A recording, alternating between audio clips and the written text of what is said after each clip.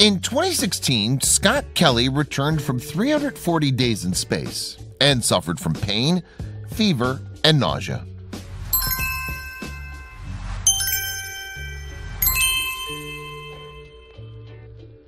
It's March 2nd, 2016, and Scott Kelly has just arrived back on Earth. He spent the last 340 days aboard the International Space Station, the longest stint that American astronaut has ever completed. But in the days to follow, the real impact of his record-breaking mission will become all too apparent. In February 1964, Richard and Patricia Kelly welcomed their son Scott and his twin brother Mark into the world. Scott Kelly subsequently grew up in the New Jersey suburb of West Orange and in his later years of high school took a job working as a paramedic in the local community.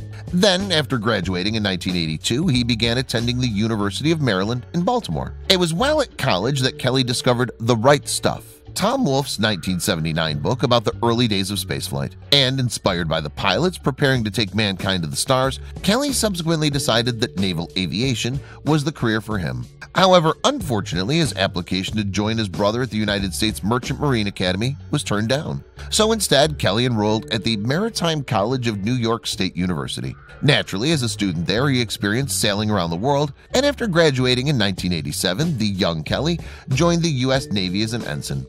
Now a military man, he traveled to Pensacola's Naval Air Station in Florida, where he began attending flight school.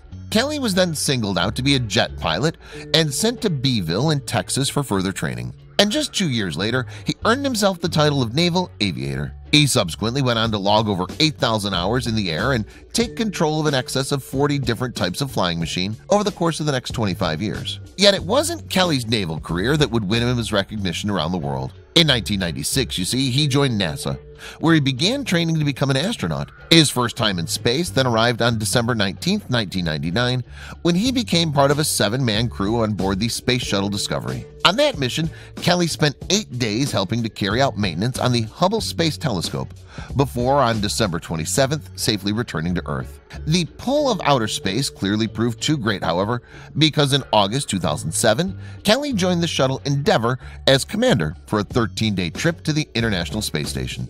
ISS. Yet, although that was Kelly's first visit to the ISS, it certainly wouldn't be his last. He actually returned in October 2010 this time on a Soyuz rocket launched for the Russian space program. Once on board, he then joined the ISS's 25th mission as a flight engineer. And when Expedition 26 started the following year, he took on the role of commander. So Kelly spent a total of 159 days living on the ISS. At the time, he'd already divorced from his first wife, but still had two young daughters and a girlfriend waiting for him back on Earth. But when the commander eventually returned home, he'd already begun to feel the physical effects of spending so long in space. Kelly's six-month stint on the ISS was nothing compared to what was to come, however. Near the end of 2012, you see, NASA chose him to undertake a record-breaking, year-long mission on the ISS. And even though Russian cosmonaut Valery Polyakov had set the bar high in the 1990s with a staggering 438 days in space, it was the first time that an American had attempted such an astonishing feat.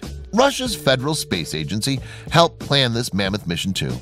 So Russian cosmonaut Mikhail Kornienko joined Kelly on his year in space. And with an expedition to Mars in its sights, NASA wanted the men to help measure the long-term effects of space travel on the human body. Previously, after all, ISS missions had lasted for around six months. These trips were useful in providing researchers with information about the physical effects of spending short periods in space. In order to safely send humans on much longer journeys, however, experts knew that they had to begin gathering data on extended stays. Interestingly, too, there was another factor that made Kelly the perfect guinea pig for NASA's tests his twin brother, Mark. Mark, who had also become an astronaut, would be staying on Earth. So this allowed experts a unique opportunity to compare two almost identical people in very different environments. Born of a project dubbed the Twins Study, the data that the brothers contributed would form part of NASA's Human Research Program.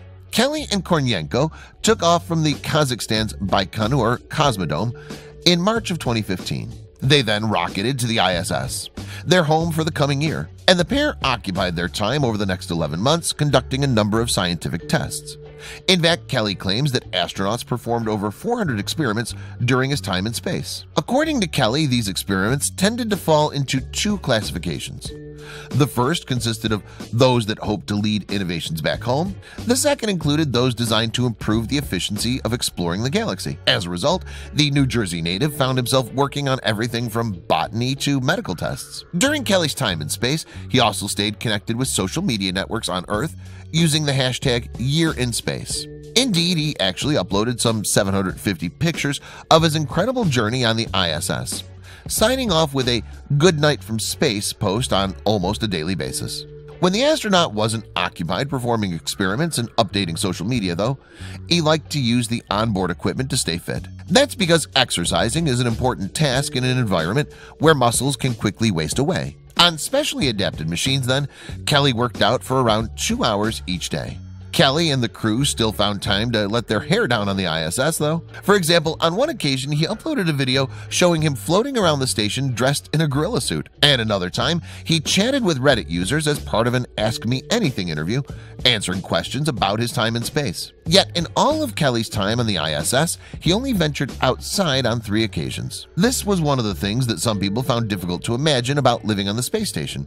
The fact that I couldn't step outside when I felt like it he told the Sydney Morning Herald in 2017.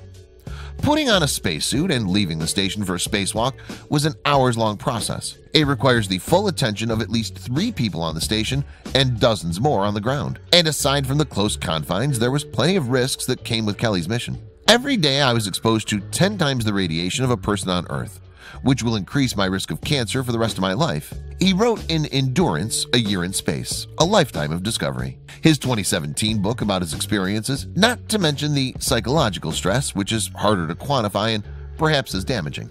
Yet NASA nevertheless lauded the mission as a year in space, and on March 2, 2016, Kelly and Kornienko returned to Earth after just over 11 months. However, the Americans soon found that his body and mind didn't particularly like being back home. Having spent so much time in the ISS, you see, Kelly discovered that it was difficult and painful to readjust.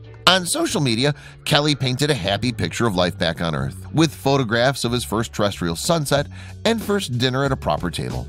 Behind the scenes, however, the astronaut's health was suffering, and within days the record breaker was in agonizing pain, suffering from fever, nausea, and delirium. Kelly also noticed that his legs were swollen and filled with fluid, and that a rash had spread all over his body. He'd developed a sensitivity in his skin too, possibly due to having been weightless for so long in the ISS. It feels like it's burning, he told a press conference in 2016.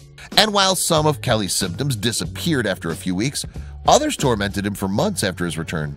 Adjusting to space was a lot easier than adjusting to Earth the New Jersey native confessed. However, the physical ailments that plagued the astronaut were just the tip of the iceberg. Just an hour after Kelly arrived back on Earth, for instance, he stood back to back with his twin brother, Mark. And although the pair had been roughly the same height before their mission, it soon became clear that the space traveler had grown by over an inch during his time in space. Apparently, this phenomenon is common in astronauts, who can each grow as much as a few inches during their missions. According to experts, microgravity is the reason for this phenomenon. The human spine apparently straightens out without gravity pressing down on it, causing the difference in height. Startlingly, however, it wasn't just Kelly's physical appearance that altered during his time in space his very genetic makeup changed. For example, the astronaut's telomeres, parts of the chromosomes associated with aging, also grew a little while he explored off-world. Researchers, in addition, note that Kelly's DNA had fewer chemical changes compared to that of his twin something that could affect the behavior of his genes. This anomaly disappeared soon after Kelly came home, though, and it didn't take long for his telomeres to return to normal either. Not all of the anomalies vanished once Kelly returned to living a normal life, however. In fact, experts estimated that some 7% of his genes may have changed on what could be a more permanent basis.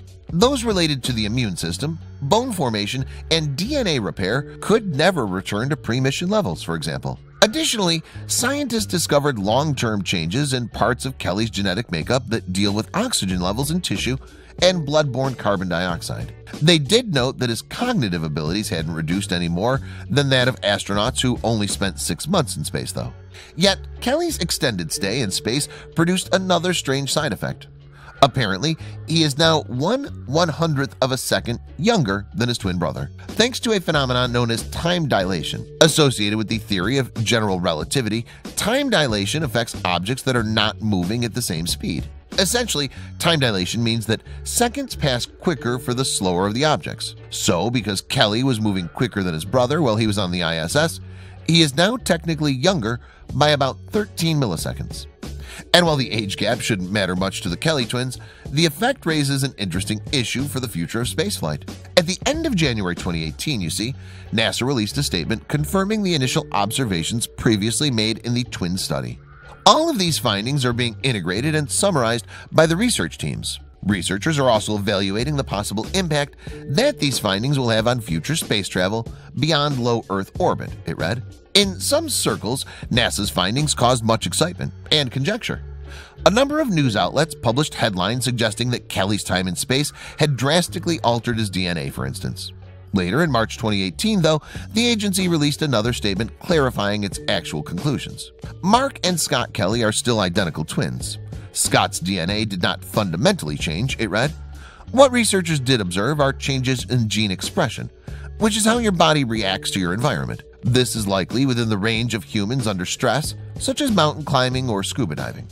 Ultimately, it's hoped that Kelly's efforts will help further mankind's missions out in the stars. The record-breaking astronaut has been happy to return to normal life and his family on Earth, though. It's a simple thing, sitting at a table and eating a meal with those you love, he wrote on social media. For me, it's something I've been dreaming about for almost a year. Yet even though Kelly's mission took a heavy physical toll, he's not ruled out a future trip to Mars. I doubt I will fly again with NASA, he confessed soon after his return, but I don't think I would ever say I'm 100% done. There's a lot of exciting possibilities out there. Maybe in 20 years you'll be able to buy a cheap ticket and go for a little visit. Kelly does also have plenty of advice for the aspiring astronauts who might one day make the unfathomable journey. Taking it one day at a time is important, he explained. I tried to have milestones that were close and that helped me keep my sanity. Meanwhile, the space traveler is looking forward to the day on which his record will be broken. Kelly announced that he would be retiring from NASA not long after his return from the ISS. However, it was far from the end of his close relationship with the stars. In November 2016, in fact, he became champion for space for the United Nations Office for Outer Space Affairs and the former astronaut has since spoken about his experiences and worked to inspire people in all aspects of their lives. Furthermore, in October 2017, he released Endurance and became a best-selling author in the United States. In the book, Kelly recognized the impact that his sacrifice might yet have on the future of mankind. Our space agencies won't be able to push out farther into space to a destination like Mars until we can learn more about how to strengthen the weakest links in the chain that makes spaceflight possible, he wrote the human body and mind.